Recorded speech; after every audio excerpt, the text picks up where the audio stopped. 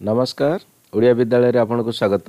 ଆସନ୍ତୁ ଜାଣିବା ଆଜି ରବିବାର ସନ୍ଧ୍ୟାର ସମସ୍ତ ନ୍ୟୁଜ୍ ହେଡ଼ଲାଇନ୍ସ ଦେଶରେ ଟିକାକରଣକୁ ପୁରିଲା ବର୍ଷେ ବର୍ତ୍ତମାନ ସୁଦ୍ଧା ଦିଆଯାଇଛି ଶହେ ଛପନ କୋଟି ଟିକା। ଆଉ ଆବଶ୍ୟକତା ପଡ଼ିବନି ଜିନୋମ୍ ସିକ୍ୱେନ୍ସିଂ ଆସନ୍ତାକାଲି ଓଡ଼ିଶା ଆସିବ ଓମିସିଓର କିଟ୍ ଓମିକ୍ରନ୍ ଟେଷ୍ଟ ପାଇଁ।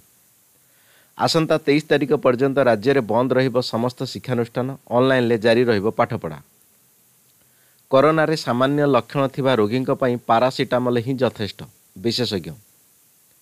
ଦିନିକିଆ ନୂଆପଡ଼ା ଗ୍ରସ୍ତରେ ପୋଲିସ ଡିଜି ସୁନୀଲ ବଂଶଲ ମାଉ ଦମନ ରଣନୀତି ନେଇ ସମୀକ୍ଷା।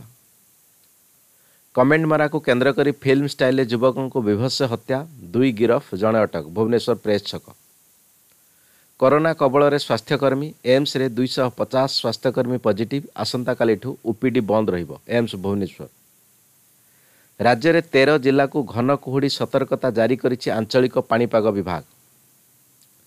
ଷ୍ଟେଟ୍ ବ୍ୟାଙ୍କରୁ ଏକାଧିକ ସୁନା ଅଳଙ୍କାର ଲୁଟ୍ ଘଟଣାରେ ପୂର୍ବତନ କର୍ମଚାରୀ ଗିରଫ କୋରାପୁଟ। ଆସନ୍ତା ଉଣେଇଶ ତାରିଖ ଦିନ ସୁମିତ ତପସ୍ୱୀଙ୍କ ରାୟ କୋର୍ଟ ପ୍ରକାଶ କରିବ। ରାଜ୍ୟରେ ଉଣେଇଶଶହ ଏକାନବେ ବ୍ୟାଚ୍ର ଚାରି ବରିଷ୍ଠ ଆଇଏଏସ୍ ଅଧିକାରୀ ହେଲେ ଅତିରିକ୍ତ ମୁଖ୍ୟ ଶାସନ ସଚିବ। ଚକୋଲେଟ୍ ଜରିରେ ଜଗନ୍ନାଥଙ୍କ ଫଟୋକୁ ଉତ୍ତରପ୍ରଦେଶରେ ବିଧାନସଭା ନିର୍ବାଚନ ପାଇଁ ପ୍ରାର୍ଥୀଙ୍କ ନାମ ଘୋଷଣା କଲା ଏଆଇଏମ୍ଆଇଏମ୍ କେଜରିୱାଲଙ୍କ ବଡ଼ ଘୋଷଣା ଚାକିରି ଦେଇ ନ ପାରିଲେ ମାସିକ ତିନି ହଜାର ବେରୋଜଗାରୀ ଭତ୍ତା ଦେବେ। ୟୁପି ବିଜେପିକୁ ଝଟକା ଅଖିଳେଶଙ୍କ ସାଇକେଲ ଚଢ଼ିଲେ ପଦ୍ମ ଛାଡ଼ିଥିବା କ୍ୟାବିନେଟ୍ ମନ୍ତ୍ରୀ ଦାରା ସିଂ ଚୌହାନ। ୟୁପିରେ ଦଳ ବଦଳ ରାଜନୀତି ବିଜେପିକୁ ଯିବେ ମୁଲାୟମ ସିଂ ଯାଦବଙ୍କ ବୋହୂ।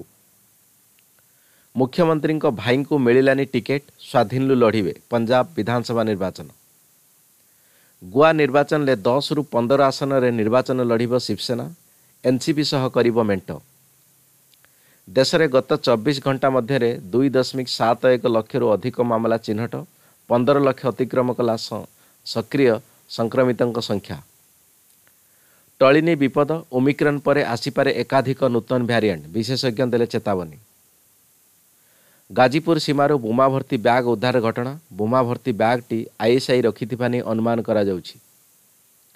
ଟେକ୍ସାସରେ ଚାରି ଜଣଙ୍କୁ ପଣବନ୍ଦୀ ପାକିସ୍ତାନୀ ବୈଜ୍ଞାନିକଙ୍କୁ ମୁକ୍ତ କରିବାକୁ ଦାବି ଘଟଣାସ୍ଥଳରେ ଏଫ୍ବିଆଇ ଓ ସ୍ୱାଟ୍ ଟିମ୍। ଭାରତ ସହିତ ପଡ଼ୋଶୀ ଦେଶ ନେପାଳ ଆଫଗାନିସ୍ତାନକୁ ସହାୟତା ପଠାଇଛି। ବ୍ୟକ୍ତିଗତ ଭାବେ ଏହା ମୋ ପାଇଁ ଦୁଃଖଦ ଦିନ ଶାସ୍ତ୍ରୀ। ହଠାତ୍ ଅଧିନାୟକ ପଦରୁ ଇସ୍ତଫା ଦେଇଥିବା ଘଟଣା ବିରାଟ କୋହଲି।